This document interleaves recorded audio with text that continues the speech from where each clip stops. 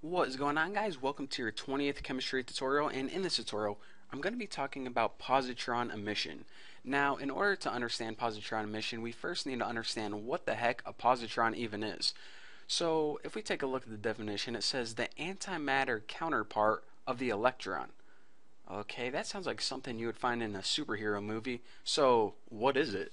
So, a positron is basically, in everyday terms, an electron that has a positive charge not a negative charge. So you know how I said probably in the last video or two videos ago that sometimes some really weird stuff happens inside the nucleus? Well, this is one of those cases. Sometimes in the nucleus you can lose a proton, so let me just go ahead and write this out, and it could actually turn into a neutron which has zero charge and an electron with a positive charge. Kind of freaky, huh? And this electron with a positive charge is what we refer to as the positron. It's basically the opposite of an electron. And in fact, whenever you have a positron that collides with an electron, a huge bundle or burst of energy is released and both particles get completely destroyed. So, pretty weird, huh? If you ever heard the term um, energy and matter cannot be created or destroyed. Well, in this case, you can take two pieces of matter and collide them and convert them into energy. So that's true some of the time, um, but not in this case.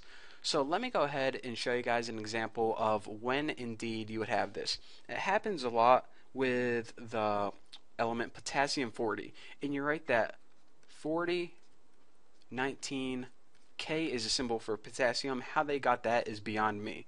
But this can go ahead and convert to 40, 18, and that, since we have a new atomic number, it's actually a new element. It's argon. And you also have this positron, and you write positrons 0 plus 1 E. And again, that positron right there is basically the whole concept behind, behind positron emission.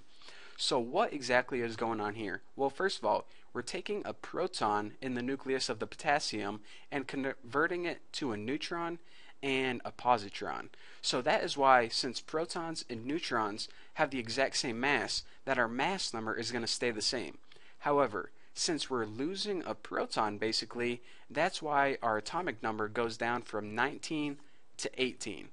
So basically we have a new element that's formed that has the same mass but one less proton and we also have a positron that gets emitted from the nucleus and that's basically it. So uh, let me think. The positron gets emitted from the nucleus, yada yada. I think I covered everything. So just remember that it loses a proton but it gains a neutron and you get a positron emitted and also that a positron is antimatter which is kind of weird because you can have two forms of matter that collide and completely destroy each other and turn into just plain a burst of energy and we're going to be talking about more on that later on.